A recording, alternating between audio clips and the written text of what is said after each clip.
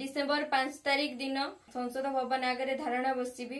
ଦିଲ୍ଲୀ ଯିବି ଜାତୀୟ ମାନବ ଅଧିକାର କମିଶନରକୁ ଭେଟ କରିବି। ପ୍ରଥମାଷ୍ଟମୀରେ ସବୁ ପିଲା ପଢ଼ୁଆ ହେଉଛନ୍ତି। ହେଲେ ମୋ ପିଲା ତ ନାହିଁ। କାହାକୁ ପଢ଼ୁଆ କରିବି? ମୋ ପିଲାକୁ କେହି ଫେରେଇ ଆଣିଦେଲେନି। ଏବେ ଶେଷରେ ମୋର ସଂସଦ ହିଁ ସାହାରା। କିଛି ଏମିତି କହିଛନ୍ତି ନିଖୋଜ ଶିଶୁ କନ୍ୟା ପିହୁର ମା ସଂସଦ ଆଗରେ ଧାରଣା ଦେଇ ଗୋଟେ ଓଡ଼ିଆ ବୋହୂ ଗୋଟେ ମା ତା ଝିଅକୁ ଫେରି ପାଇବା ପାଇଁ ନ୍ୟାୟ ମାଗିବାକୁ ଯାଉଛି। ରାଜ୍ୟରେ ନ୍ୟାୟ ପାଇଁ ବହୁତ ଗୋଡ଼େଇବା ପରେ ଏବେ ବାଧ୍ୟ ହୋଇ ସଂସଦ ଆଗରେ ଧାରଣା ଦେବେ ବୋଲି କହିଛନ୍ତି ପିହୁର ମା। ବିଞ୍ଝାରପୁର ଥାନା ଅନ୍ତର୍ଗତ ମଧୁସୂଦନପୁର ଗାଁର ଶିଶୁ କନ୍ୟା ପିହୁ।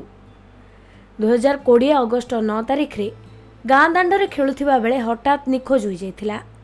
ପରେ ତାଙ୍କ ପରିବାର ଲୋକ ବିଞ୍ଝାରପୁର ଥାନାରେ ଲିଖିତ ଅଭିଯୋଗ କରିଥିଲେ।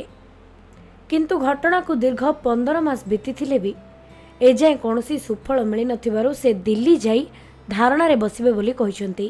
ଆଜି ପ୍ରଥମାଷ୍ଟମୀ ହେଲେ ମୋ ପିହୁ ମୋ ପାଖରେ ନାହିଁ। ଦୀର୍ଘ ପନ୍ଦର ମାସ ହେଇଗଲାଣି ମୋ ପିହୁ ନିଖୋଜ ହେବାର।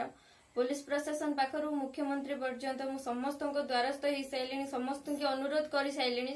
କିନ୍ତୁ ସମସ୍ତଙ୍କ ପରା- ପାଖରୁ ପ୍ରତିଶ୍ରୁତି ମିଳିଥିଲା କିନ୍ତୁ ମୋତେ କୌଣସି ପ୍ରକାରରୁ ଉଁ, ତଦନ୍ତ କରିକି ମୋ ପିଲାକୁ ଆଣି ମୋ ପାଖରେ ପହଞ୍ଚାଇ ପାରିଲେନି। ତ ସେଥିଲାଗି ମୁଁ ସମସ୍ତଙ୍କ ପାଖରୁ ଯେହେତୁ ବିଫଳ ହେଲି ବାଧ୍ୟ ହୋଇକି ଡିସେମ୍ବର ପାଞ୍ଚ ତାରିଖ ଦିନ ଉଁ, ସଂସଦ ଭବନ ଆଗରେ ଧାରଣା ବସିବି। ଦିଲ୍ଲୀ ଯିବି ଉଁ, ଜାତୀୟ ମାନବ ଅଧିକାର କମିଶନରକୁ ଭେଟ କରିବି। ଅ, ଜାତୀୟ ଶିଶୁ କମିଶନକୁ ବି ଭେଟ କରିବି। ଓ ଆମ ଓଡ଼ିଶାରେ ଯୋଉ ସାଂସଦ ମାନଙ୍କୁ ବି ମୁଁ ଭେଟ କରିବି ଭେଟ କରିକି ଅନୁରୋଧ କରିବି କି ମୋତେ ସହଯୋଗ କରନ୍ତୁ ଉଚ୍ଚତରର ତଦନ୍ତ ପାଇଁ ସୁପାରିଶ କରନ୍ତୁ। ତେବେ ଏ ଘଟଣା ଦୁଇହଜାର କୋଡ଼ିଏ ଅଗଷ୍ଟ ମାସରୁ ଘଟିଛି। ଝିଅକୁ ଖୋଜି ଫେରାଇ ଆଣିବାରେ ପୋଲିସ ପକ୍ଷରୁ କୌଣସି ପଦକ୍ଷେପ ନିଆଯାଇନି। ସେଥିଲାଗି ସେ ଜାତୀୟ ମାନବାଧିକାର କମିଶନଙ୍କ ଦ୍ୱାରସ୍ଥ ମଧ୍ୟ ହୋଇଥିଲେ। ହେଲେ ମାନବାଧିକାର କମିଶନ ପୋଲିସ ଡିଜିପିଙ୍କୁ ଏ ଘଟଣାର ରିପୋର୍ଟ ଚାରି ସପ୍ତାହରେ ଦାଖଲ କରିବାକୁ ନିର୍ଦ୍ଦେଶ ଦେଇଛନ୍ତି।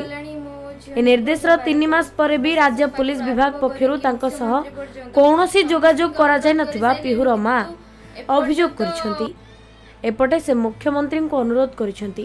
ଓଡ଼ିଶା ପୋଲିସ ନୁହଁ ସିବିଆଇ ତଦନ୍ତ ହେଲେ ତାଙ୍କ ଝିଅ ମିଳିପାରିବ ବୋଲି ସେ ଦାବି କରିଥିଲେ। ସେଥିପାଇଁ ଏବେ ଶେଷ ଆଶା ଭରସା ଟିକକ ସେ ସଂସଦ ଉପରେ ରଖିଛନ୍ତି। ତେଣୁ ସେ ଡିସେମ୍ବର ପାଞ୍ଚରେ ସଂସଦ ସାମ୍ନାରେ ଧାରଣାରେ ବସିବେ ବୋଲି କହିଛନ୍ତି।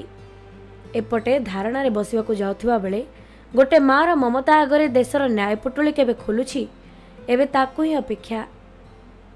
ଯାଜପୁରରୁ ଅଜୟ ରାଉଳଙ୍କ ରିପୋର୍ଟ ଓଡ଼ିଶା ଭାସ୍କର।